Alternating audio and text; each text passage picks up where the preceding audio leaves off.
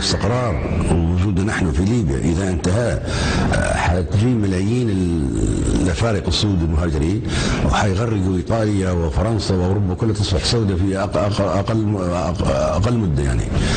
فنحن اللي موقفين الهجره بالملايين من نحن صمام الأمان. نحن اللي عاملين استقرار في البحر المتوسط على طول 2000 كيلو متر من مساحة ليبيا. هذه كلها استقرار ومنع الهجرة و و وسلام ومنع وجود القاعدة بشكل كبير. إلا الذين تسللوا الآن الآن. فلو تقوض وضع الاستقرار في ليبيا سينعكس على أوروبا وعلى البحر المتوسط آه، فورا وعلى ما يسمى بإسرائيل وهذا كله سيتبدأ الخطر كلها. معناها انهيار السلام العالمي في البحر المتوسط السلام العالمي كله سينهار بسبب انهياره في البحر المتوسط يعني إذا انتقلت القاعدة لليبيا ستكون يعني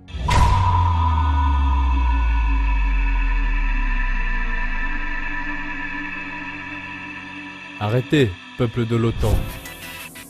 Vous bombardez un mur qui barre le chemin à la migration africaine vers l'Europe et le chemin des terroristes d'Al-Qaïda.